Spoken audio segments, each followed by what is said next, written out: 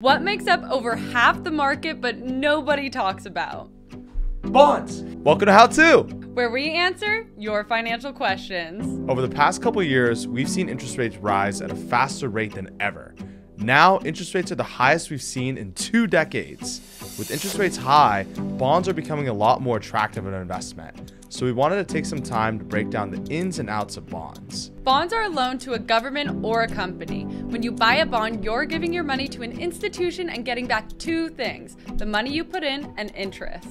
They're one of the primary ways companies receive funding. Rather than giving out equity, they issue debt to help initiate new projects, expand the company, or simply keep operations running if cash is low. Bonds are different from stocks in a couple ways. First of all, as a bondholder, the terms of your investment are set. You expect a certain amount of income and your payment back, making it more secure than a stock, which can typically fluctuate in price. If something were to happen to the company and they were to go bankrupt, stock owners are at the bottom of the priority ladder. However, as a bondholder, you're prioritized to get your money back. Bonds are seen as a safe haven asset. When the economy has a downturn, investors flock to bonds because of their set terms and overall security. But they aren't right for every investor. So, reach out to us if you have any questions about your financial situation.